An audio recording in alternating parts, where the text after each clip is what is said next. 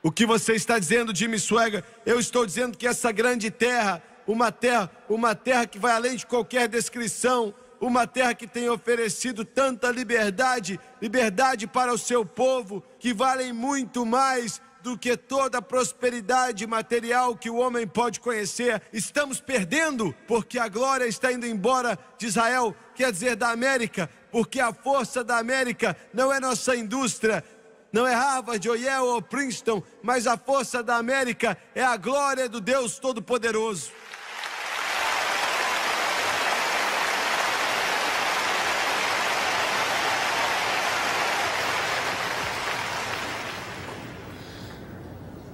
Eu não me importo em saber qual é o nosso produto interno bruto. Eu não me importo a respeito da média de emprego, se está alta ou não. Não me importo com o número de, de físicos, de engenheiros, ou médicos, ou cientistas, ou teólogos que estão saindo das nossas universidades, quando os louvores e a santidade sai da nossa igreja, a glória vai se embora e todo o resto vai se perder também. Eu quero que nessa noite você veja três coisas, são bem simples.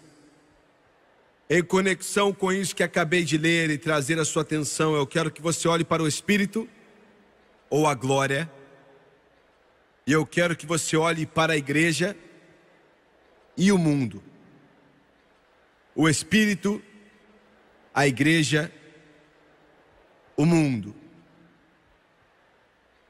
Quando você menciona o Espírito de Deus em nossas igrejas e em nossas vidas, quando você menciona a glória de Deus em nossas igrejas e em nossas vidas, infelizmente a maioria do mundo, ou até mesmo o mundo da igreja, não sabe do que você está falando. Eu vou ser meio negativo agora, mas vou ser meio negativo porque eu preciso ser negativo. A maioria das igrejas na América, a pessoa não tem como ser salva ali nem se quiser.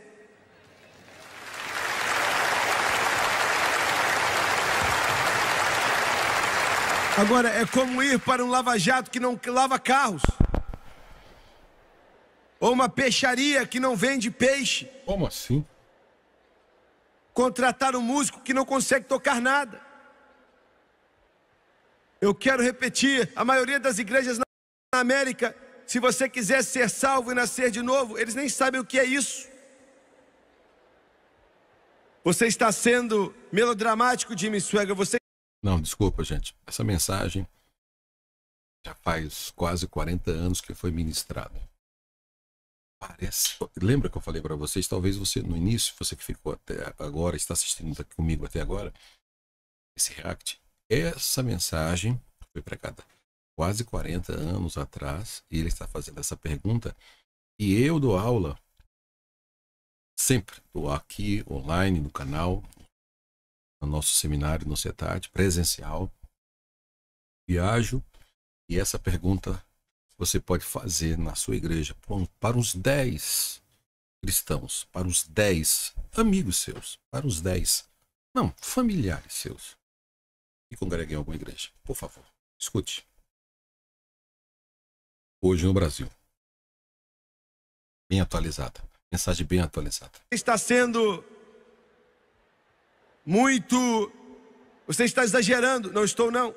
Uma das, uma das igrejas mais poderosas da América se eu falasse a denominação, o mundo inteiro sabe quem é.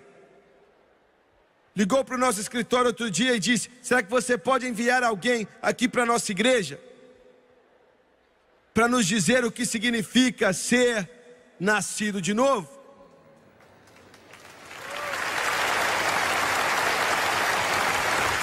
Deus nos ajude, Deus tem misericórdia. Eu não consigo imaginar uma igreja que não sabe nem o que é ser nascido de novo.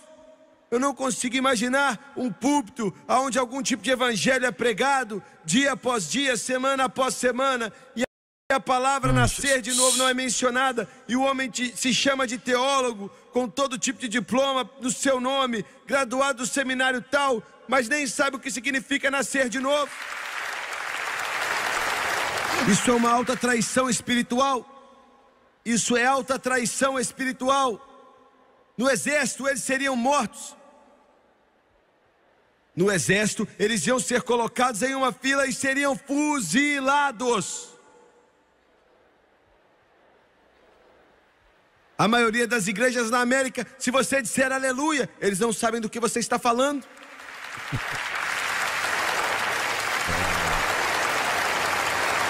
Eles não entenderiam a sua vulgaridade, a sua obscenidade. O que se prega ali é obsceno. Eles não sabem o que é. Eles entendem jogos de bingo.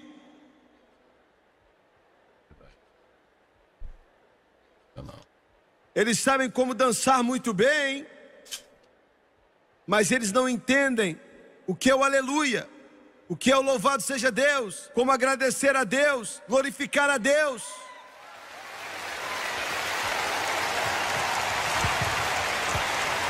Eu não iria a uma igreja assim, eu não apoiaria uma igreja assim, eu não iria a uma igreja assim, eu não ia pisar numa igreja assim. E se eu estivesse em uma igreja assim, eu ia sair de uma igreja assim e encontraria uma igreja em algum lugar, não importa se é um prédiozinho pequeno que fica em um bairro ruim, onde as pessoas glorificam a Deus e glorificam o nome de Jesus. E o pregador prega a palavra de Deus e prega sem medo e prega sem favorecer ninguém e prega exatamente de acordo com a unção e o poder de convicção do Espírito Santo. E eu iria para aquela igreja.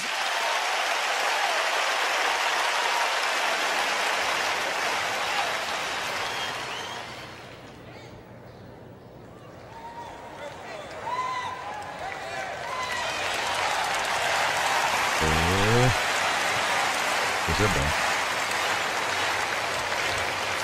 O que diferencia a igreja de um clube social qualquer?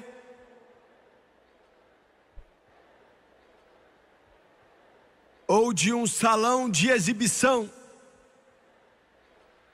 É o Espírito de Deus.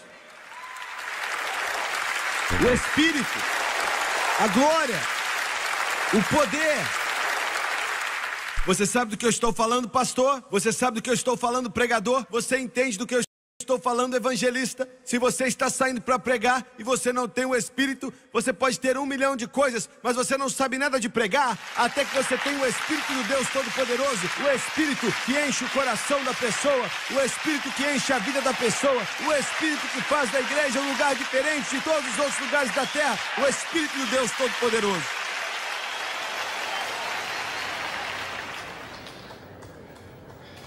Você entende, você não pode nem adorar sem o Espírito. Pois é impossível adorar sem o Espírito de Deus. Você pode ir para a igreja e ser mais um ali no meio.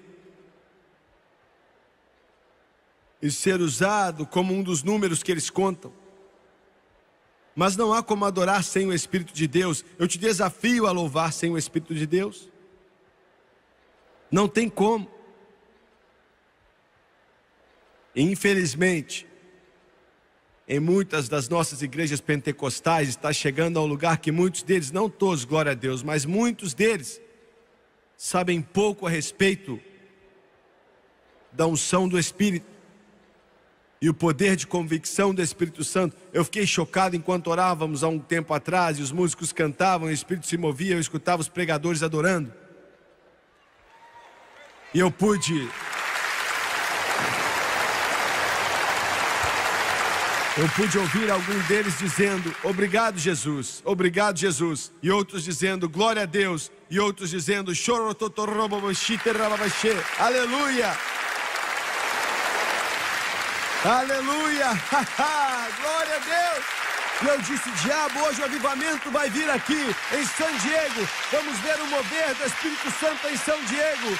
O Espírito de Deus vai se mover aqui, tocar vidas e corações, e as pessoas vão ser salvas e crentes cheios do Espírito Santo. E vamos ver corpos curados e pessoas libertas pelo poder de Deus em San Diego.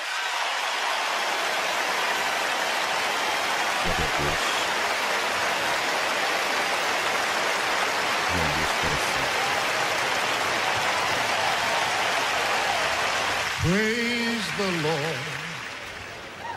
Praise the Lord. Most holy is the Lord.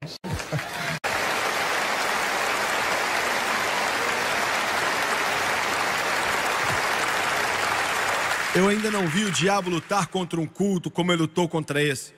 Você não tem a menor ideia. E quando isso acontece, eu penso que eu quase não vou vencer. E glória a Deus. Todas as vezes, Deus nos dá um derramar do Espírito Santo.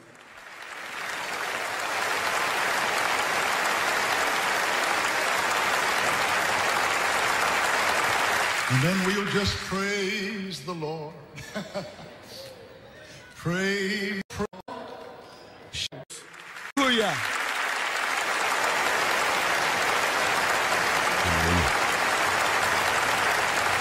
Eu acredito no sobrenatural. Eu acredito em um Deus que responde oração, acredito em um Deus que faz milagres. Eu acredito em um Deus que pode todas as coisas. Eu acredito na manifestação do poder de Deus. Eu não acredito que tudo aconteceu ontem e um pouco pode acontecer amanhã e nada está acontecendo agora. Eu acredito que Jesus é o mesmo ontem, hoje e para sempre.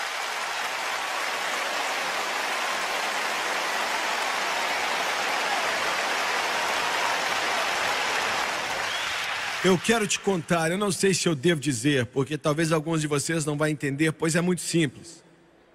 Mas,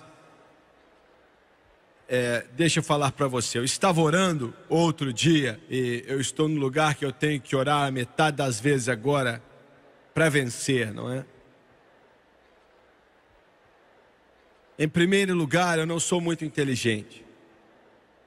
E eu preciso dele para me guiar. Eu não sou inteligente demais como você é. Eu preciso da sabedoria dele.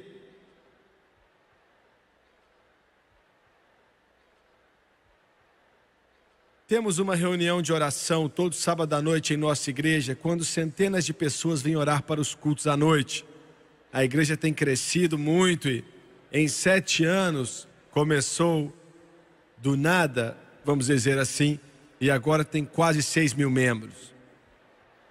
De qualquer forma, Estávamos passando por um ataque das trevas, e isso não é algo estranho, acontece o tempo inteiro.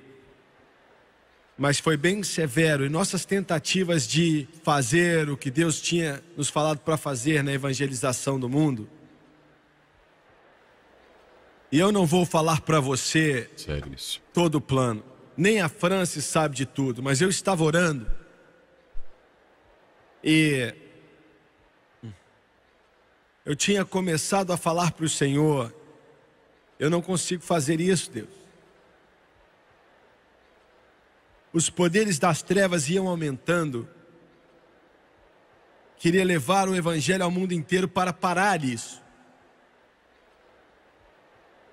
Por períodos de semanas, eu dormi muito pouco.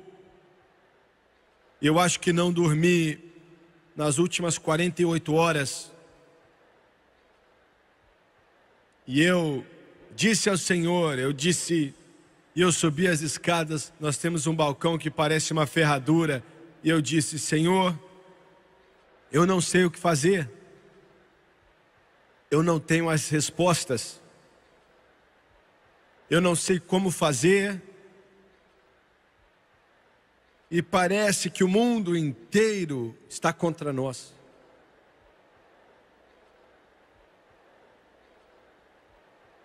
E eu não sei como explicar, mas eu tive três visões em minha vida e duas delas foram nos últimos 18 meses. Foi algo muito rápido, não durou muito tempo, mas eu vi a sua mão. Parecia estar naquela visão, ser duas vezes maior do que a minha, e veio e segurou o meu braço meu braço esquerdo, no qual eu uso esse pequeno reloginho de 35 dólares, Swatch Watch On.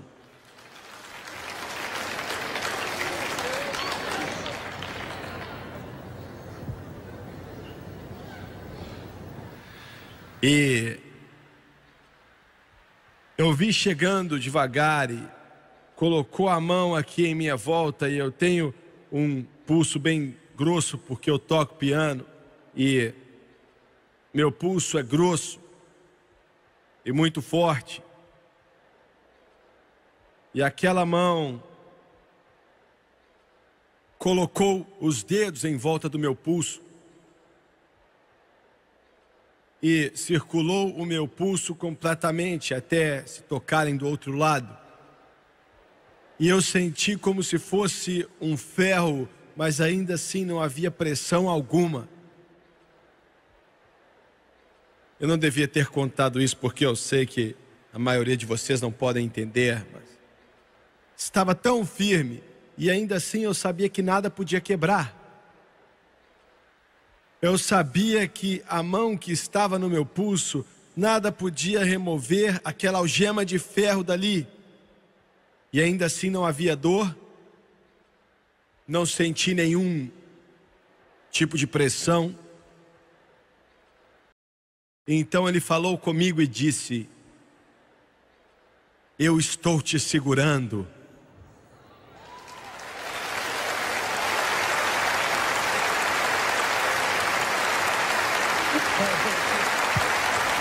Aleluia.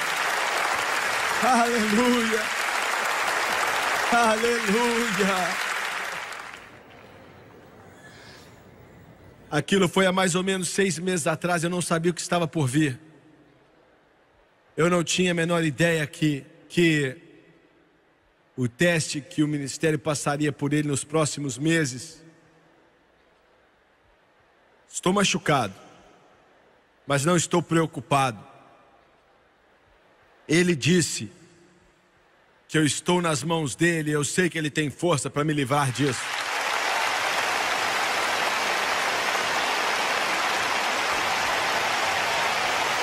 Eu acredito no Espírito, eu opero pelo Espírito.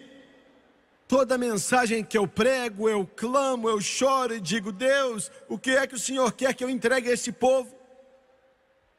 E às vezes Ele me deu uma palavra tão dura que eu disse: Senhor, eu não posso dizer elas. E Ele disse: Eu te dei uma boca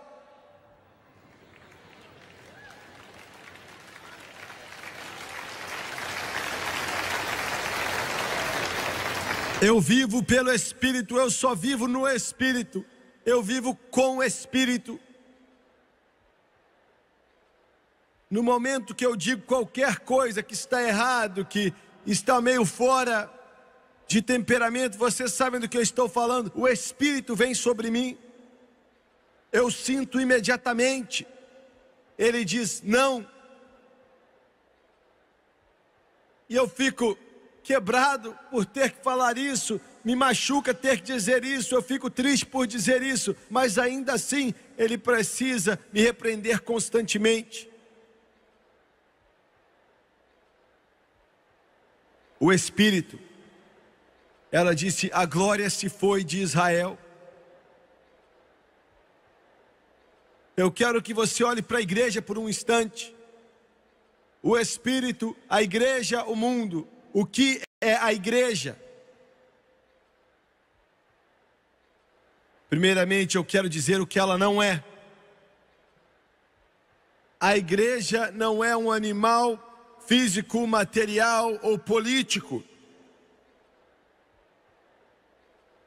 Quando a igreja se torna um animal político, então já não é de Deus. A definição de igreja é muito simples: é um grupo de pessoas chamados para serem diferentes, que foram transformados e receberam vida de Jesus Cristo.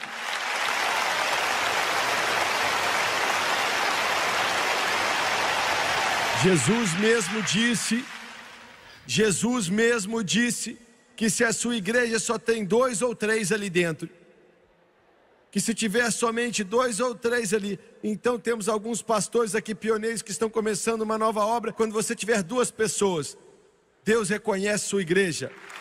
Aleluia! Ele diz que se dois ou três estiverem juntos em meu nome, não ao nome do Papa, não no nome de Roma, não no nome do Swagger, não no nome do Batista, não no nome das Assembleias de Deus, não dos Metodistas, não dos Nazarenos, mas em meu nome. Jesus, o Senhor, o Rei dos Reis, o primeiro, o último, o Alfa e o Ômega, o começo e o fim, Criador do homem e que dá vida eterna, que batiza com o Espírito Santo.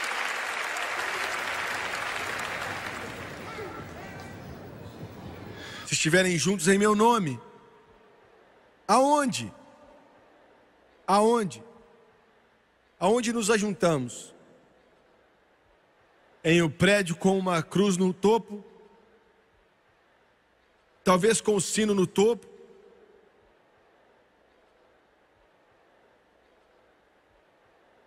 Talvez tenha um órgão? Não. Qualquer lugar. Qualquer lugar.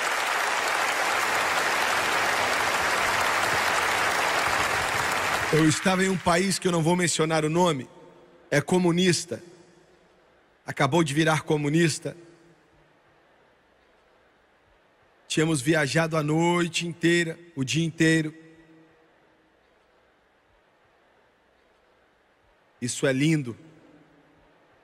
Eu entrei ali no saguão do hotel e um homem que é negro como a noite chegou perto de mim e disse: Eu vou estar no seu quarto hoje à noite.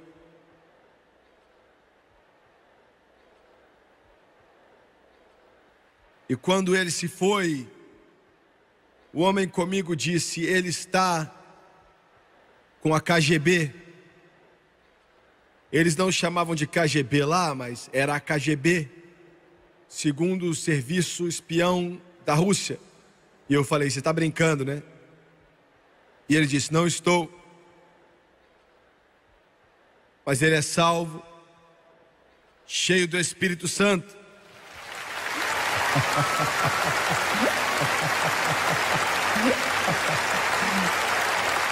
E eu perguntei: Você está falando sério? Ele falou: Estou. Naquela noite ele veio com a sua esposa. Imediatamente ele entrou e disse assim: Como vai a Jennifer? Eu olhei para ele e ele disse: E o Gabriel e o Mateus? Se você não os conhece, são nossos netos. E eu disse: Estão bem?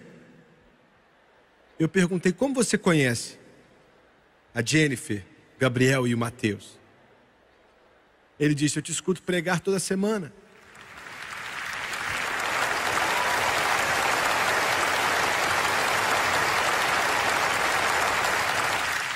Ele disse: Meus homens me trazem fitas cassetes toda semana.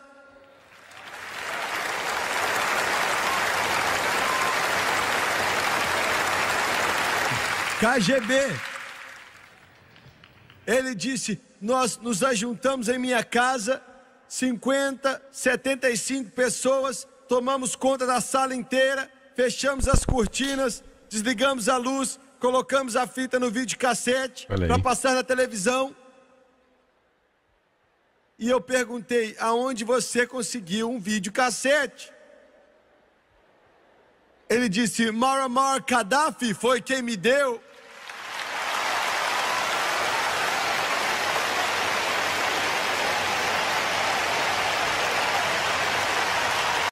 Só para explicar aqui para os novos que estão assistindo e não sabem o que é um videocassete. Videocassete era um aparelho que transmitia as imagens antigamente, mais ou menos desse tamanho aqui.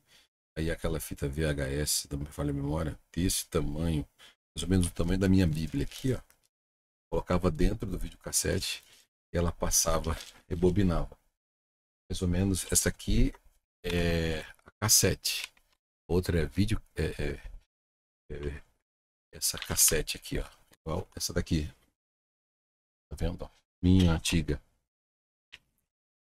Era, é mais ou menos, ó. Vou tentar mostrar aqui. Ou menos uma. Era eu antigamente, parece. Era chove. Mais ou menos um. Uma videocassete era a, a, o fita do vídeo 7 VHS era mais ou menos uma, uma dessa, mas gigante, do tamanho é, dessa Bíblia aqui. Ó. Imagina aquela época. Você vê a, a, a tecnologia mudando como que é. Hoje, talvez essa daqui poucos poucos conhecem. Poucos conhecem. Imagina a VHS. Mas os mais antigos que estão conosco aqui conhecem com certeza. Muito obrigado, Deus abençoe. Não esqueça de deixar, deixar aí o seu like, curtir e compartilhar. Vamos lá. E eu disse: aquele que está na Líbia,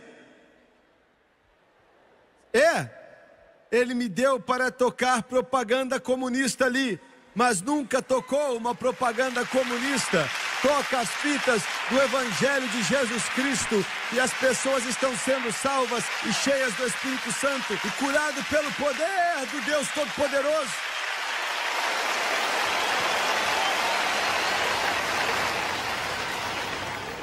E eu estou escutando isso tudo e eu fiquei perplexo. Muito bom. E eu pensei assim, Senhor, eu nunca precisei discernir espíritos tanto quanto agora. Será que Ele está armando para mim?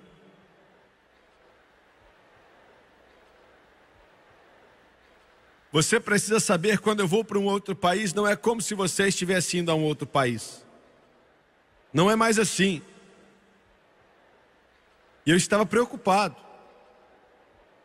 Ele sabia mais de mim do que eu sabia de mim.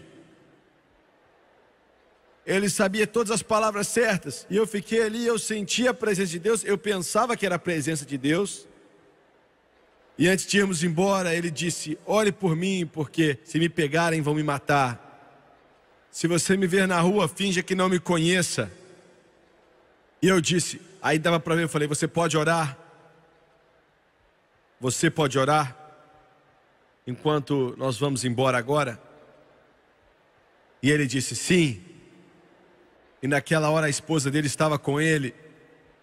Ela levantou as mãos e começou a orar em línguas. e ele começou a orar Uh, eu queria que a União Soviética pudesse ter ouvido ele. Eu queria que, que aqueles comunistas pudessem ter ouvido. Eu queria que o chefe da KGB tivesse ouvido. Ouvido aquele homem orar, clamando a Deus e no poderoso nome de Jesus. O poder de Deus veio naquele lugar, ali dentro daquele quarto de hotel. A igreja aconteceu, a igreja estava em operação. Onde estiverem juntos em meu nome, ali eu estou estarei no meio de vocês.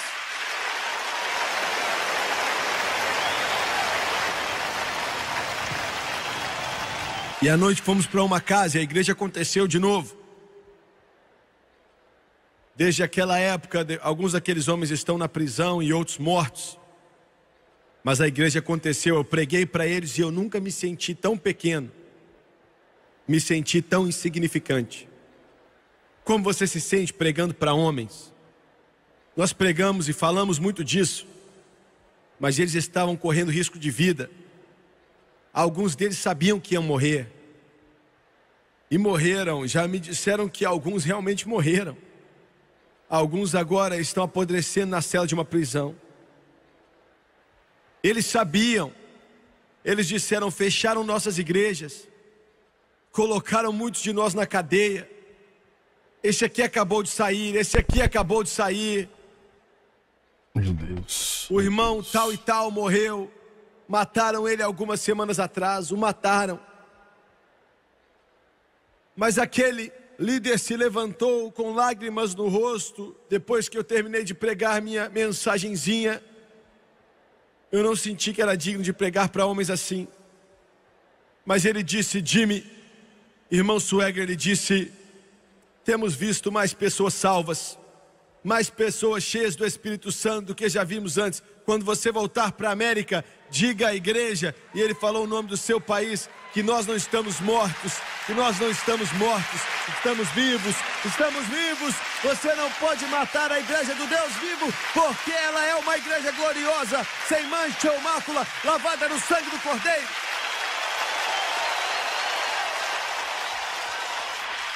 A igreja é dele. A igreja não é minha. E é por isso que eu choro, soluço, clamo. Me dê sua mensagem, porque a mensagem é dele. Eu sou apenas o mensageiro inconsequente e incapaz. Mas não sou a mensagem, ele é a mensagem. A igreja é dele. Sobre essa rocha eu construirei a minha igreja. E ele nos disse: leve minha mensagem ao mundo inteiro. Leve para o homem negro, para o homem amarelo, para o homem vermelho, para o homem branco, leve para o mundo inteiro.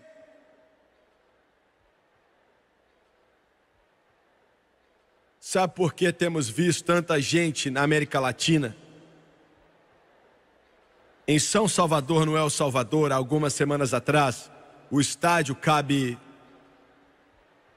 cabe 65 mil pessoas sentadas e colocamos quase 100 mil pessoas ali no domingo.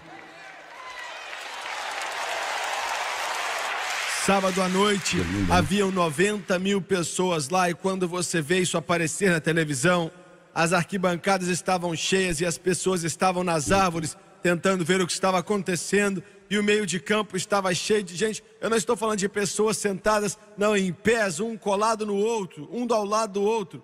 Eles subiram numa plataforma ali e eu achei até que a plataforma ia cair. Vindo porque estavam famintos por Deus. Famintos por Deus. E Deus me disse, Ele falou: leve a toda a terra, leve a toda a cidade. E Ele disse: pregue uma mensagem, pregue Jesus, pregue que Jesus salva, que Jesus cura, que Jesus batiza com o Espírito Santo. Jesus é vitorioso, Jesus é a luz, Jesus é o caminho, Jesus é a verdade. Jesus está voltando!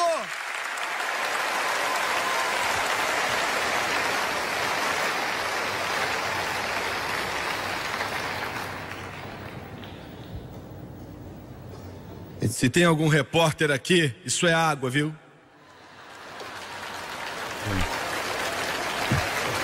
É picangueiro.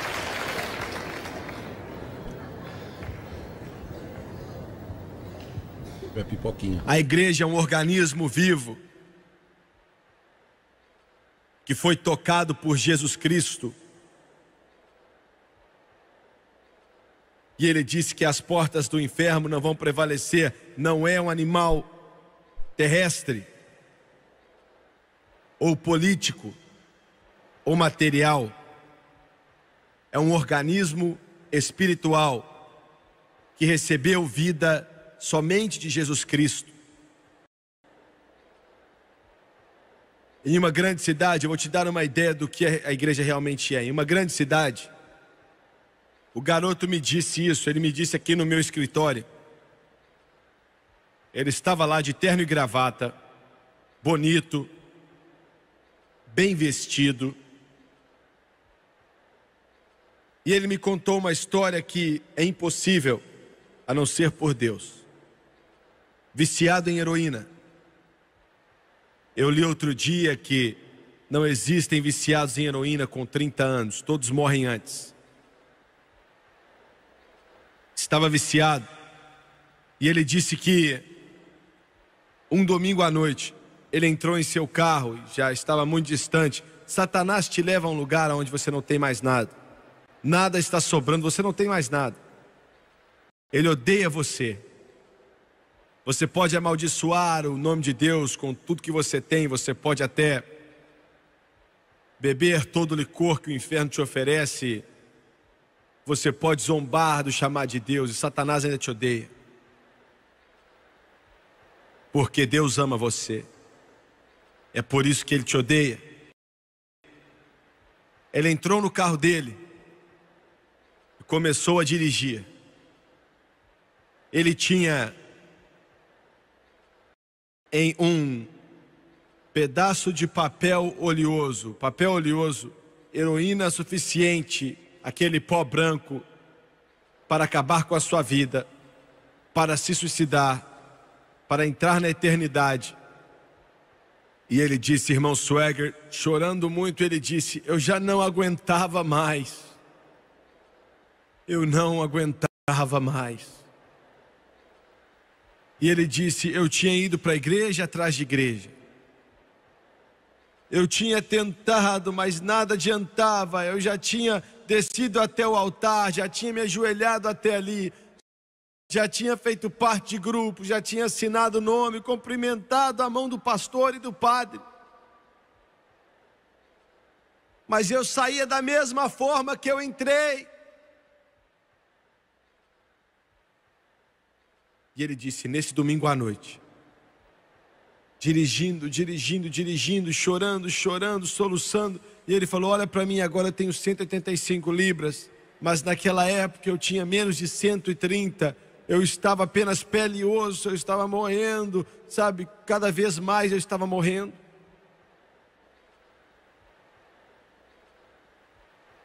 E ele disse: Deus, eu não sei nem como orar.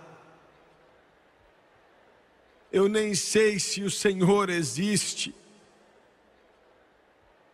Mas se você existir, me ajude nessa noite, porque eu não estou aguentando mais isso. Estou morrendo. Chorando muito e com aquele pó branco e a agulha nas mãos ele viu um prédio. As luzes estavam acesas, era meio tarde, mais ou menos 10 da noite. Eles não acreditavam em um culto de 45 minutos para andar rápido e ir para casa assistir Miami Vice.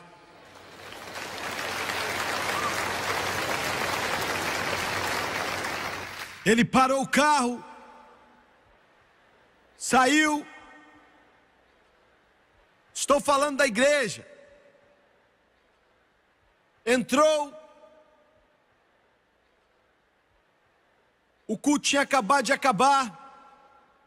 Mais ou menos 40 pessoas estavam de pé ali. Ele entrou ali e perguntou: Onde está o pregador? Um outro homem olhou para ele e perguntou: Qual deles? Glória a Deus, essa é uma igreja pentecostal de verdade. Púlpitos profissionais não são de Deus.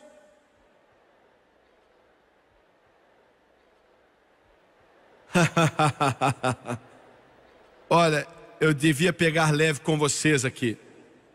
Alguns de vocês acabaram de pegar seu bolo, você não está acostumado com a cobertura. Um deles virou e disse: Aquele é pregador, aquele é pregador, aquele é pregador, aquele é pregador e aquele é pregador. Eu sou pregador. O que você precisa? E ele disse: Eu estou viciado em heroína. Um pregador disse: Glória a Deus! Aleluia! Bom, o que você está dizendo, Jimmy Swagger? Eu estou dizendo que a igreja não tem que ser um culto de referências. Nós não temos que referir os bêbados para os alcoólatras anônimos. Nós não temos que repassar os nossos loucos para os psiquiatras. Nós não temos que repassar os que estão possessos pelos demônios para um asilo de loucos. Nós temos que ter o poder do Todo-Poderoso Deus, pois Jesus disse que o Espírito de Deus está sobre mim, pois ele me ungiu para pregar o Evangelho para o pobre, curar os quebrantados de coração e libertar aqueles que estão presos. E trazer a liberdade aos cativos.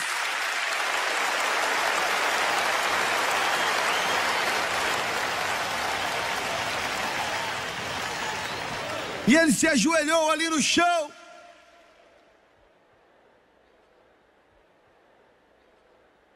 E eles expulsaram todo o demônio dele. Fale a verdade, isso não se encaixa na sua igreja, não se encaixa no seu púlpito, não se encaixa na sua plataforma, mas impuseram as mãos nele e falaram: em nome de Jesus Cristo, tomamos autoridade sobre todo espírito maligno e ordenamos que os demônios saiam, ordenamos que o diabo suma, ordenamos que drogas sejam quebradas, ordenamos que todo demônio saia dele.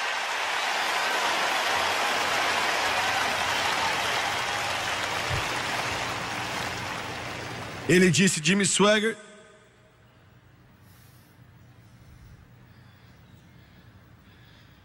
Isso foi mais ou menos às 10. 10 e meia eu estava salvo.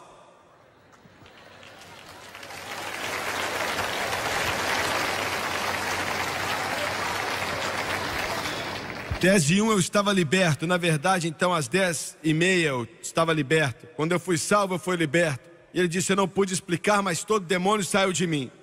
Eu sabia que eu estava livre. Eu sabia que eu estava livre. Quando chegou 11 da noite, eu estava orando em outras línguas e o Espírito de Deus me capacitava. Jesus me batizou no Espírito Santo.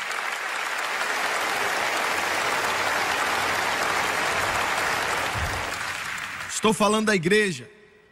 Quando eu digo igreja, alguns de vocês pensam em algum prédio bonito. Não faça isso. Você pensa em uma mulher gorda se levantando e cantando.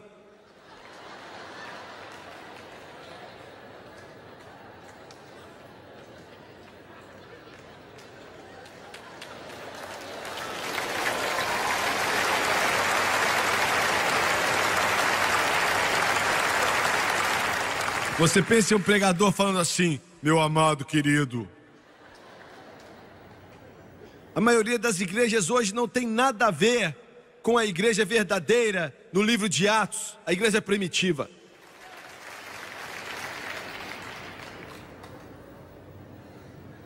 Ele disse que à meia-noite, ele disse que às dez eu entrei, dez e meia eu fui salvo e liberto. 11 da noite eu fui cheio do Espírito Santo. 11 e meia eu estava tão bêbado que eu nem sabia onde eu estava. Não em qualquer tipo de bebida alcoólica ou Jack Daniels ou nada assim. Mas no Espírito. No Espírito. O Espírito. O Espírito. O Espírito. Pedro disse: Esses estão bêbados, mas não como você pensa, porque é a terceira hora do dia mas isso é aquilo que foi dito pelo profeta Joel. Eu sou como um homem demente, não é mesmo? Isso não soa como igreja, você diz, isso me deixa com medo. Bem,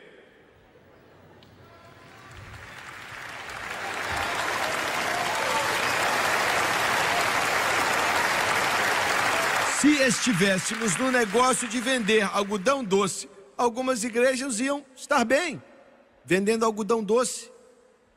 Mas quem sabe beijos?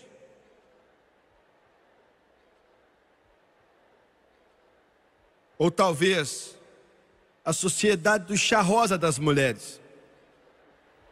Mas esse não é nosso negócio. Nós estamos nos negócios de libertar os cativos Estamos no negócio de curar os quebrantados de coração. Estamos no negócio de libertar os cativos.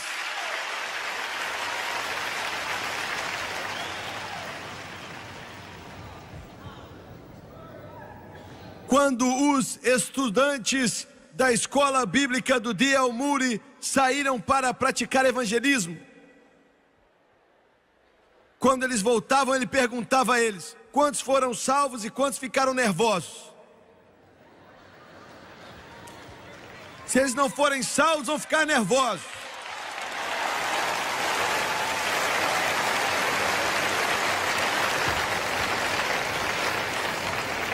Quando minha mãe foi batizada no Espírito Santo, ela dançou a igreja inteira.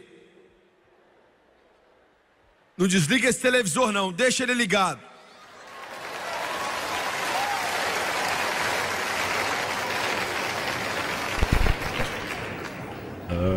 Tinha um homem cego na igreja que ela não gostava dele. Ele não tomava banho sempre. E a minha mãe não gostava dele. A minha mãe queria que ele estivesse em uma outra igreja. Minha mãe expressava os sentimentos dela em alta voz às vezes. Minha mãe fazia isso. Hum. Mas quando Jesus encheu ela com o Espírito Santo, quando ela chegou ali, ela estava abraçando aquele cego, orando em outras línguas. Glória! Eu estou falando da igreja, eu estou falando de aleluia, eu estou falando de louvar a Deus, eu estou falando de pessoas sendo salvas, estou falando de pessoas serem cheias do Espírito, de corpos doentes sendo sanados, estou falando de vidas transformadas e da igreja.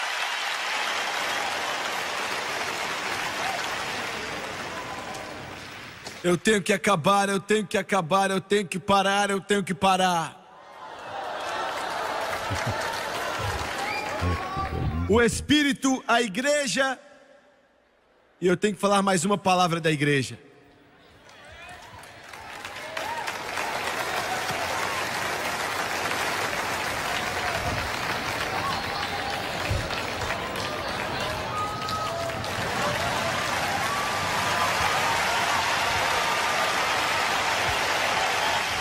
Diabo, faça o que você quiser.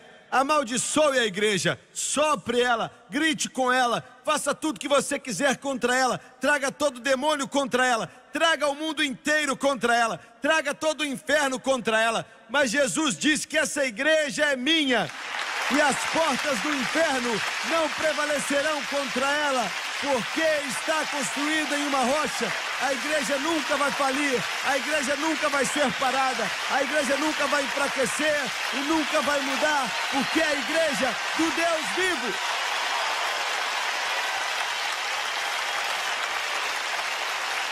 Construída na rocha, e não há outra rocha como o nosso Deus.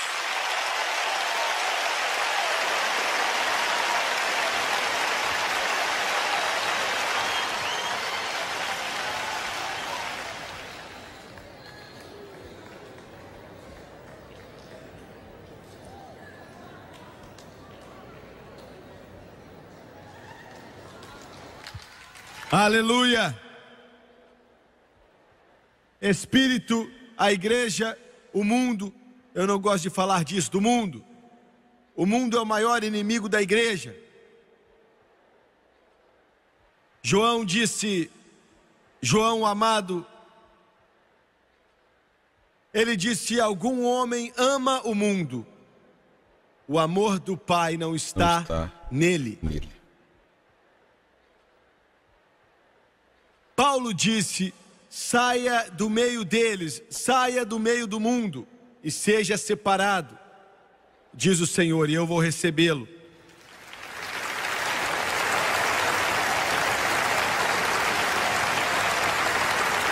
João diz que você não tem como amar o mundo e amar a Deus ao mesmo tempo. Nós pregadores usamos um termo mundano. O que é mundano? Você vai ouvir isso de cristãos que se importam. Eles às vezes dizem: Ah, isso é mundano demais. A igreja está abraçando o mundo. O que eles estão falando? O que nós estamos falando? O que é mundano? E como você define? Não é legalismo.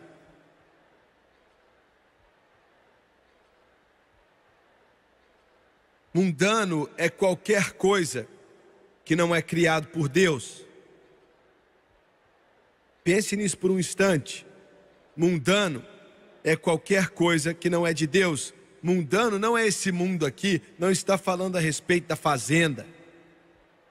Quando João disse: Não ame o mundo, nem as coisas desse mundo, ele não estava falando a respeito das árvores, das pedras, dos rios, dos lagos, da grama, das flores da terra, das montanhas, dos montes. Não era disso que ele estava falando.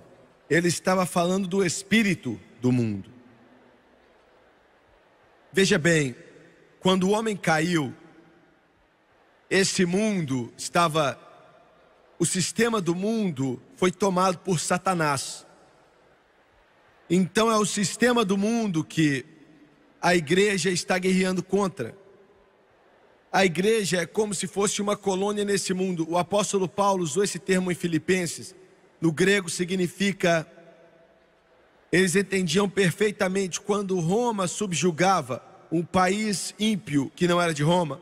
Eles, eles construíam uma pequena colônia romana ali, que era exatamente como Roma. Eu não digo de prédios, eu digo a maneira como Roma operava e tratava de coisas, para que se sentisse em casa. A Grã-Bretanha copiou as maneiras romanas e quando colonizavam um país, eles faziam uma pequena parte britânica naquele país.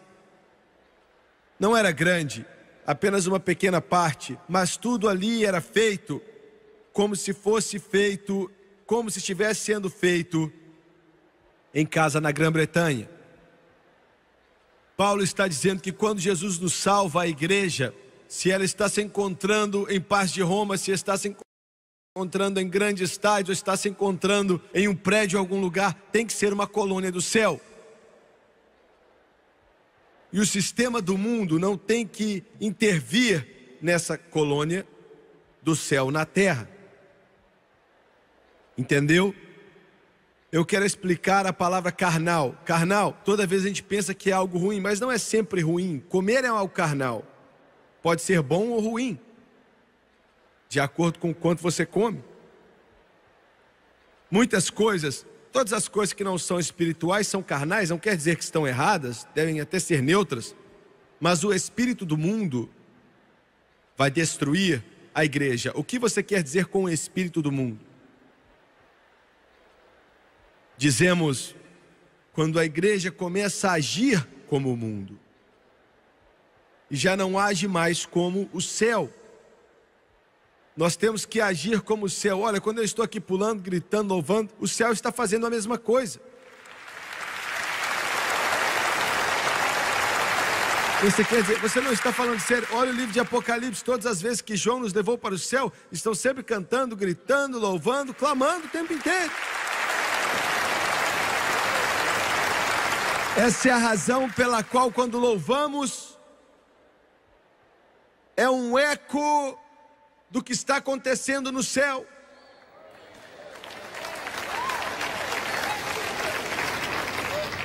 Mas a igreja começa a agir como o mundo, se parecer como o mundo, soa como o mundo, ao invés de uma coluna do céu. Quando o mundo pensa que você está maluco, que a sua igreja está louca, eu não estou falando de coisas ridículas feitas por, às vezes nós cristãos somos ridículos e loucos. Estou falando de coisas espirituais provadas pelo Espírito, provadas na Bíblia, Verdade. estão na Escritura. O mundo pensa que você está maluco. O mundo, os repórteres, eles não me entendem quando vou para a América Central pregar, para a América do Sul, Europa, Ásia, África. Você gasta esse dinheiro todo na televisão, isso é uma perca de dinheiro, porque o Evangelho para eles é um desperdício. Para alguns deles eu tenho que andar rápido aqui, eu tenho que te falar isso e ir embora. Quando a igreja vai até o mundo e traz o mundo para dentro da igreja, e diz: Olha como isso é bom. Olha como a Coxa tem feito cervejas gostosas. Você está ouvindo? Ah, mas eu prefiro a Budweiser. ou eu estou indo assistir o último filme que saiu. Não tem nada de errado com um projetor e uma tela e filmes, não tem nada de errado com isso, mas como aquilo é usado, está errado. Você, você entra no mundo e o mundo entra em você, e isso mata a igreja, isso destrói a igreja. Muitas pessoas não gostam que eu pregue assim. Olha, mulheres, escutem. Como membra da colônia do céu, vista-se apropriadamente.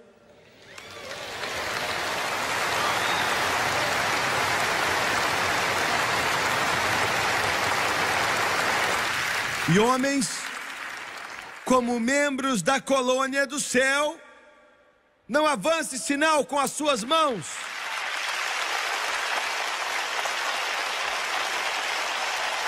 E mantenha os seus olhos onde eles devem estar. Você pode dizer, Jimmy Swag, você é meio brusco, eu sei, mas você nunca vai esquecer o que eu disse.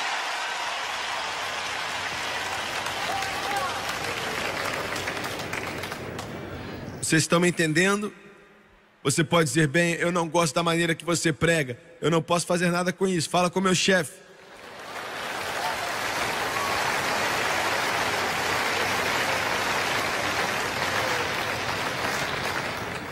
Eu posso pregar mais duas horas, mas eu não vou, vou parar aqui mesmo. No meu escritório outro dia, outro dia no meu escritório, o Doni, o Doni chegou e falou: "Pai, eu quero te apresentar para esse irmão". Ele me apresentou para um jovem muito bonito que eu nunca tinha visto antes e ele disse: "Ele é um guitarrista principal do e falou o nome do de um dos mais conhecidos dos grupos de rock do mundo. E eu disse da maneira errada, ele era o guitarrista principal de um dos grupos de rock mais famosos do mundo. E eu acho que eu olhei para ele umas duas vezes. Esse grupo era tão ruim que os grupos ruins chamavam eles de ruins. Olha, se eles não entrassem no palco bêbados e drogados, drogados e bêbados, eles não estavam no palco. A motivação deles era motivar quantas crianças eles podiam influenciar para o mal. Eu olhei para ele e eu perguntei assim: Você está salvo? Ele falou sim, cheio do Espírito Santo e pregando.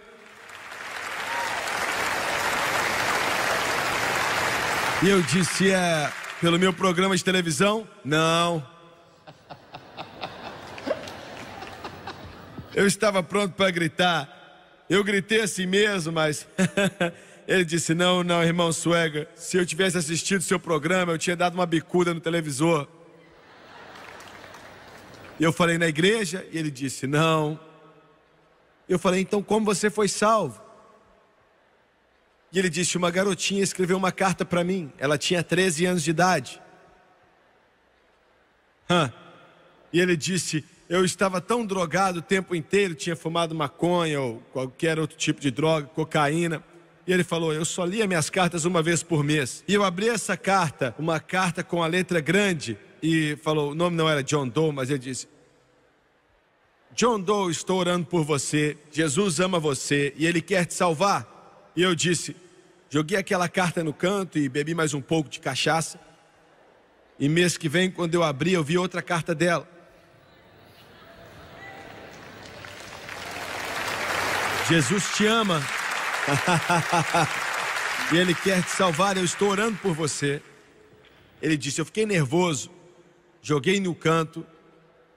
E no próximo mês eu estava procurando e eu vi uma outra carta dela ali.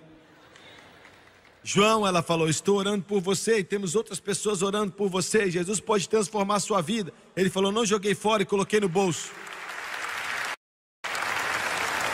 Naquela noite ele disse que subiu no palco e as luzes estavam fortes e a fumaça também. E aquela música terrível gritando na orelha dele, falando que você tem que ficar bêbado e drogado para escutar aquilo. E ele disse: Lá estava eu com 95 mil watts ali na minha guitarra, e eu, eu começava a tocar, e ele disse que me sentia tão ruim que eu queria até morrer. E eu estava de pé ali me xingando, xingando todo mundo, xingando aqueles meninos e tocando algum tipo de gritaria no microfone. E ele disse, tocando uma música na guitarra naquela noite, ele disse que falou para si mesmo: Deus, você realmente me ama? Será que aquela garota me disse a verdade? Será que ela realmente está orando para mim? E tudo isso acontecendo enquanto eu estava tocando. Será que o Senhor pode mesmo me salvar, Senhor? O Senhor pode me salvar? Estou tão cansado de drogas, de maconha, estou tão cansado. Ele chama de, de baseado. Estou cansado do baseado, estou cansado dessa droga toda. Eu estou cansado de tudo isso. O Senhor pode realmente me transformar agora? Eu estou falando agora enquanto estou tocando. Oh yeah? Yeah? Yeah? Ele disse: Jimmy Swagger, bem no meio da música. Jesus Cristo mudou meu coração, salvou a minha alma ele disse: Eu não sei se a igreja acredita ou não, mas eu sabia que estava salvo. Ele disse que pela primeira vez na vida dele, ele disse: Algo veio sobre ele, algo veio na vida dele. como nada que nenhuma maconha ou uma outra droga podia ter dado a ele.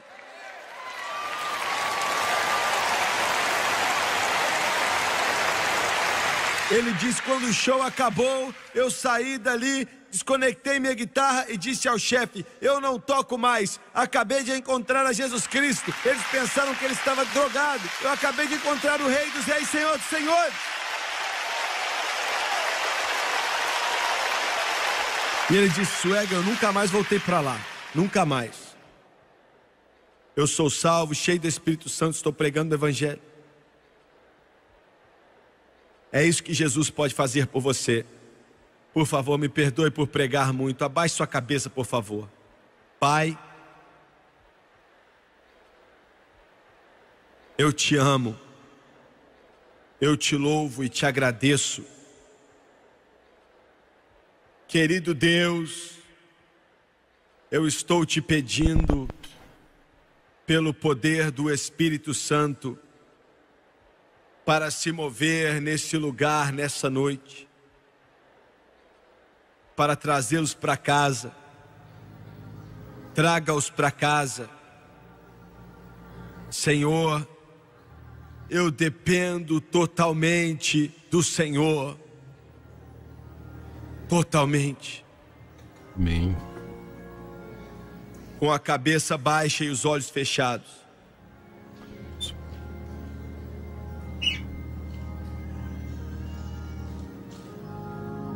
boa mensagem. Quantos aqui nessa noite? Olha, eu sei que eu disse de uma forma ruim, mas eu fiz o meu melhor. Eu estou te dizendo, Ele vai te dar a vida eterna. Meus irmãos, meus amigos,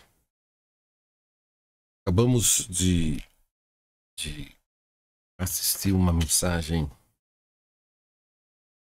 poderosa. Uma mensagem em que fala aos nossos corações. Espero que você tenha gostado. Comente aí que Deus falou no seu coração. Comente.